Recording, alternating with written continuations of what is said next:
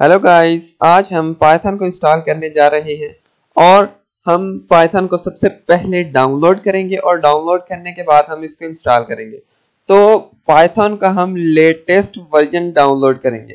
तो सबसे पहले मैं आपको पाइथन के ऊपर एक डॉक्यूमेंटेशन दिखा दूँ कि पाइथन के कौन कौन से वर्जन है। तो आप इस चीज़ को देखिए। तो पाइथन जो है सबसे पहले जो इसका फ़र्स्ट वर्जन रिलीज़ हुआ था, वो उन्नीस सौ छियानवे में हुआ था। ठीक है? जब पाइथन न्यू न्यू आई थी उसके बाद इसके डिफरेंट वर्जन आते रहे हैं लेकिन जो इसका लेटेस्ट वर्जन है वो है वर्जन 3.6.4 जो 19 दिसंबर 2017 को रिलीज़ हुआ है।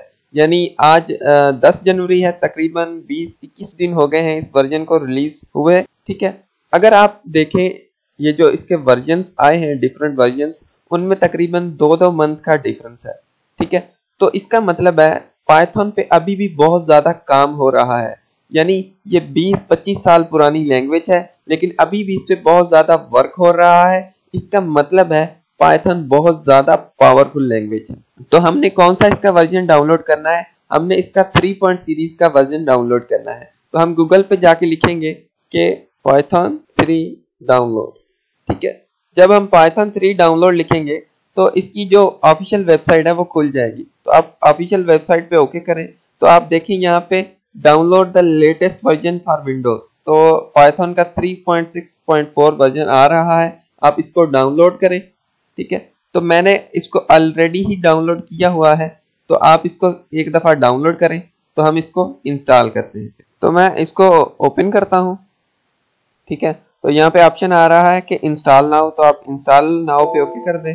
ठीक है, अब मैं इस वीडियो को पॉज कर देता हूँ जब तक इंस्टॉल हो जाए। तो सेटअप हमारा इंस्टॉल हो गया है, हम इसको क्लोज कर देते हैं। ठीक है, अब हम ओपन करते हैं पाइथन के शेल को। पाइथन